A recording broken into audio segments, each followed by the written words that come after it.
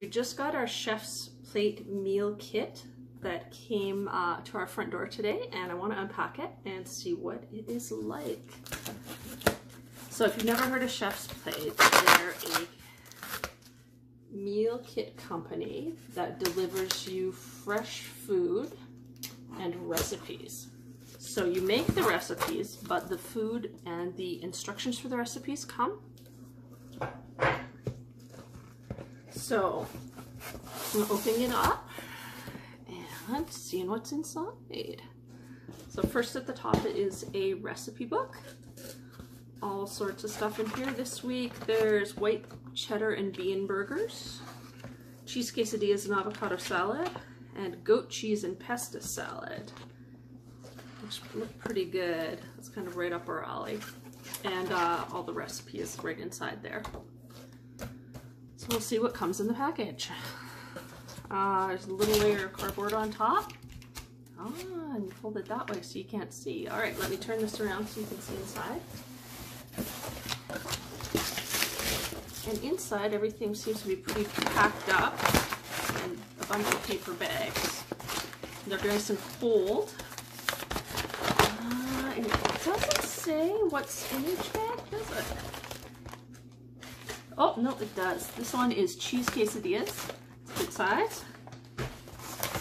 There's another one. So we got a double kit, so we might have two of everything in here. White bean and cheddar burgers in this one.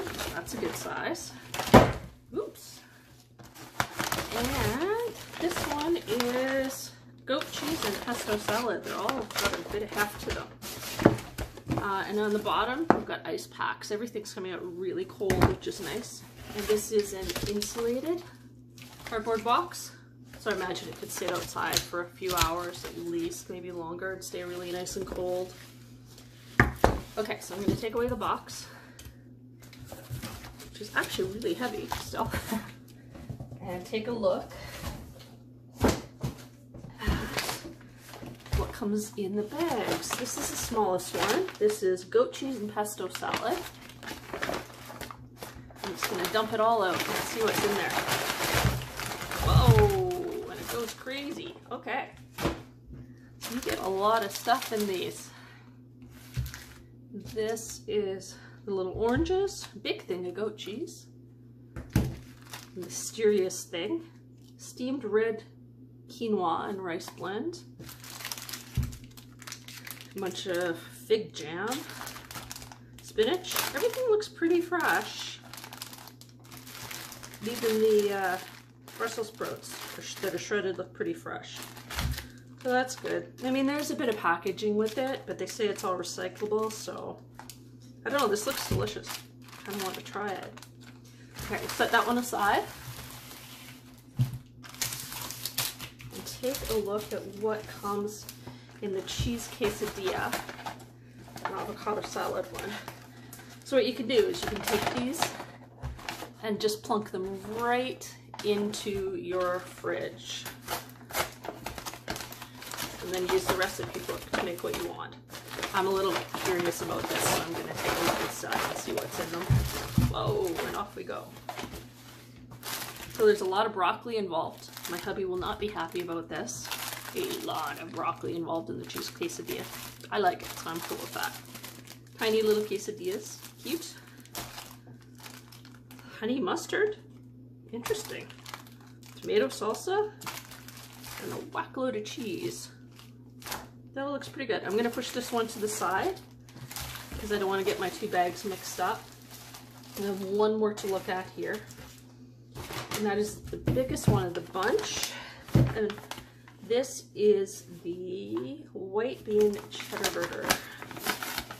So it's the vegetarian burger made with white beans. And then what I'm curious about are the buns. Oh, look at that.